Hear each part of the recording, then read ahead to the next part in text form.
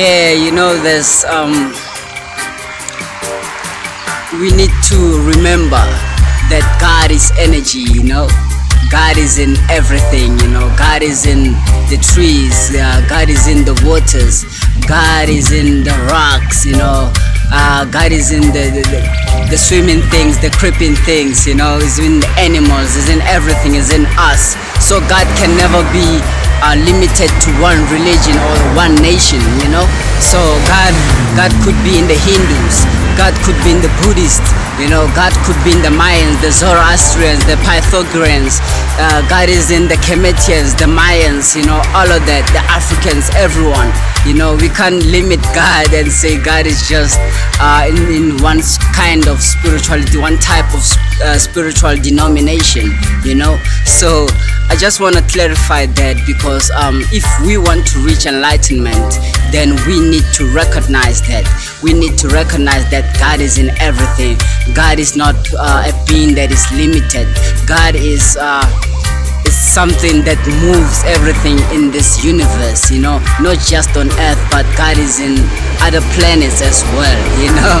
So people have been uh, confused with this type of thing but I'm not saying I'm a master, I know everything. But this is one thing that I gotta say that every being, every living thing, everything that exists in this universe has God in it. So, um, God is energy. That's what I'm trying to say. Even us, we are energy. Everything is energy.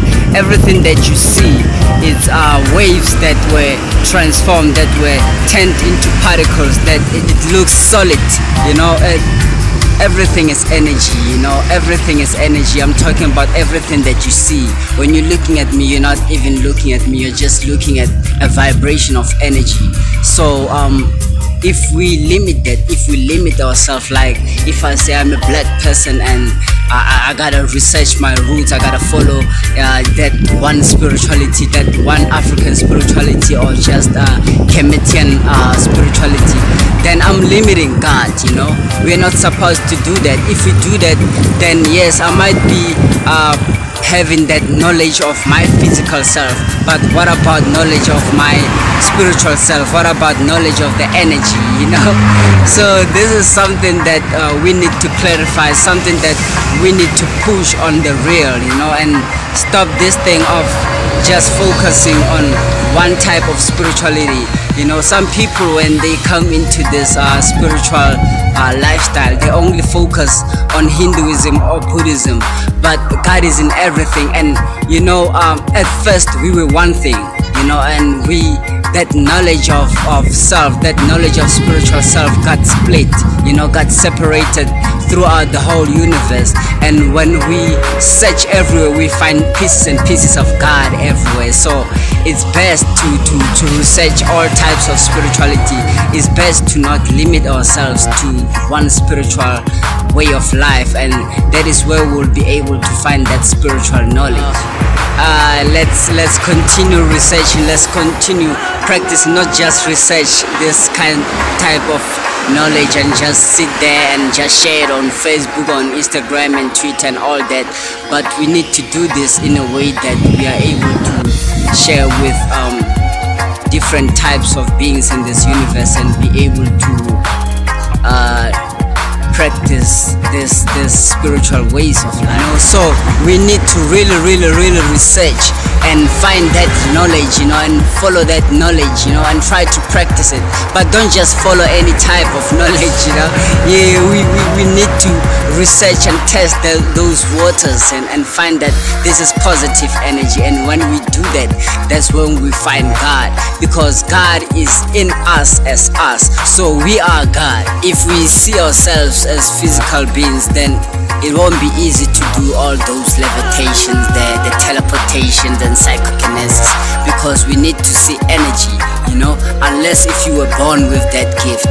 If you remember on uh, on the Matrix, when Neo saw that kid uh, bending the spoon, he was trying to do that and he was trying to imagine how is it that kid is doing that.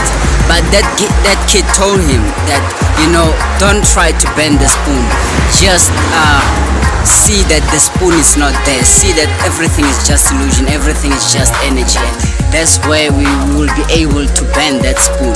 When we see that there is no spoon it's like a dream world if you're in a dream and you see yourself as that physical being you struggle in a nightmare. But if you want a lucid dream you need to wake up first and realize that it's just energy.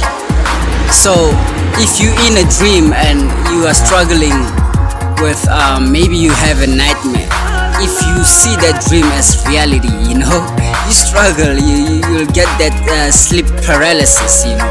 But if you um, aware and you are lucid dreaming and you see that this is a dream. That's where you're able to do all the things. You can fly you can shoot fire out of your mouth out of your hands. You can use energy however you want it.